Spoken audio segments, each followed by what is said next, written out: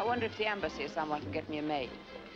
It's a nice apartment, and I don't mind dusting and sweeping, but I hate cooking. I'll ask them. And while you're at it, find out when I go to work and on what. Yes, ma'am. Quer mais alguma coisa? Have another drink? No, thank you. I've had enough. Hmm. No, true. Whiskey on soda. Well, do you hear that? I'm practically on the wagon. That's quite a change. It's a phase. You don't think a woman can change? Sure. And change is fun.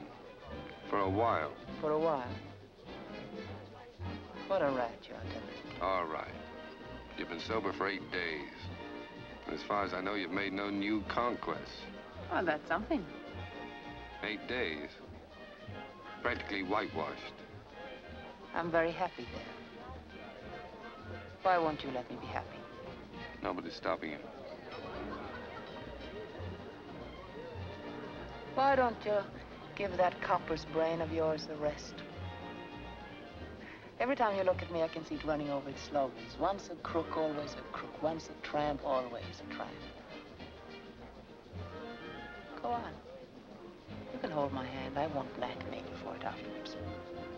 Scared? I've always been scared of women, but I get over it. And now you're scared of yourself. You're afraid you'll fall in love with me. That wouldn't be hard. Oh, Now, careful, careful. You enjoy making fun of me, don't you? No, Dev. I'm making fun of myself. I'm pretending I'm a nice, unspoiled child whose heart is full of daisies and buttercups. Nice daydream. Then what? What is this? I think I will have another drink. I thought you'd get around to it. Make it a double. This on soda, dupla. Duplo?